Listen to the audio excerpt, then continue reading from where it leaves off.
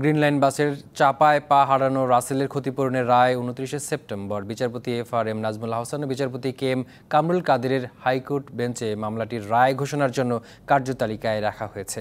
দুহাজার আঠারো সালের চৌঠা এপ্রিল ঢাকায় মেয়র হানি ফ্লাইওভারের কাছে গ্রিন লাইন পরিবহনের একটি বাসের নিচে চাপা পড়ে হাঁটুর নিচ থেকে এক পা হারান ছাব্বিশ বছর বয়সী রাসেল সরকার। বাস চালকের সঙ্গে বিতণ্ডার জেরে তার পায়ের ওপর দিয়ে বাস চালিয়ে দেওয়া হয়েছিল সেদিন।